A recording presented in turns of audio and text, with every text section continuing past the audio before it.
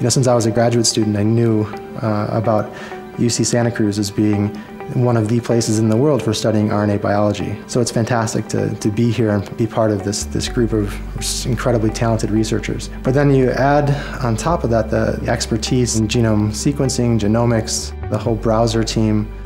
You have this fantastic place for understanding the structure and function of RNA in a global scale and putting that in the context of the genome. The human genome produces a diverse array of RNA molecules. And these RNA molecules are the, like the working draft of the, of the genome. One of the most fascinating parts of the genome, at least to me, is that most protein coding genes produce multiple distinct RNA molecules. And so you can think about these as, as being really a mixed, a mixed message. So every gene is sending out mixed messages.